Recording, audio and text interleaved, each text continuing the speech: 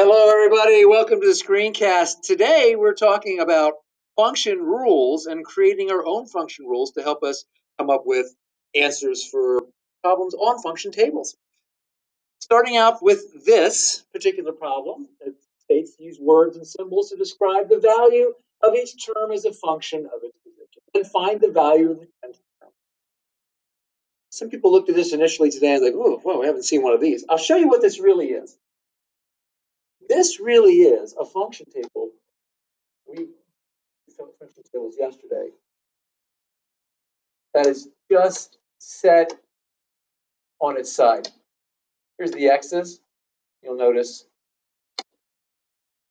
ah, price for. That takes the place of the position. And then the values are the is the y. So if you're used to looking at a function table this way, There we go. That looks very familiar.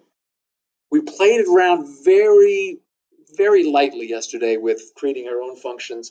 But today, our function rule for this one, I'm noticing each time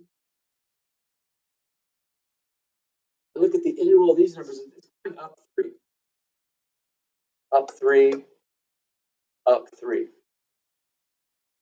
However, if I just said that well, the function rule for this is add 3 to x. That's not going to get me to, well, the 10th term. I'm going to have to do some really long math for that. So instead, what I noticed since it went up 3, I'm thinking that if I multiply by 3, that will also get me to move 3, 3, and 3 places. Now, if I said, all right, well, let's just say 3 times x is our function rule, see if it works. Here, 1. 3 times 1 is 3. 3 times 2 is 6. 3 times 3 is 9.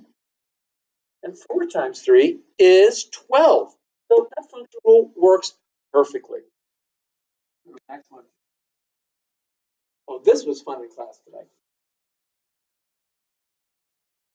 Here are a set of data and I see, this is more like a, a chart that I'm used to seeing. I see X over here, which means this is our Y. And I see a relationship, there's one to five, two to seven, three to six. Um, let's start ruling some things out. If I just said, all right, X plus four, because one plus four is five, I guess we need five, but then would two plus four work? No, that wouldn't work. Let's get rid of that. Um, see what else. I do notice that back here, these are going up by twos. Five to seven is two, seven to nine is two. That keys me in that I bet you this might be some sort of multiple of two. I could say two times x. If I say two times one equals five, people would say, you know, you're a little crazy. Two times one is two. But what if I added this to the end and said, okay, two times one is two plus three is five. It worked for the first line. How about the second? Two times two plus three hey, that equals seven. It worked for this line too.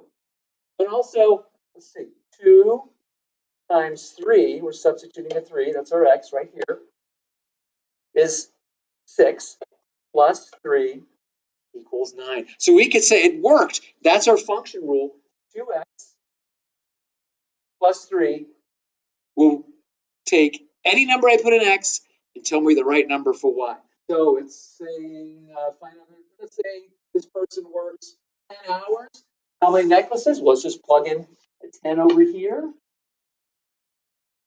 2 times 10 plus 3 would be 23. Ladies and gentlemen, that's barely scraping the surface, but a good start on how to create your own function rules. We're going to be going over again this in class tomorrow just to make sure we're square. This is, might be one of the harder things that we do in class. Uh, ladies and gentlemen, that is uh, function rules, and that is the maths you should know.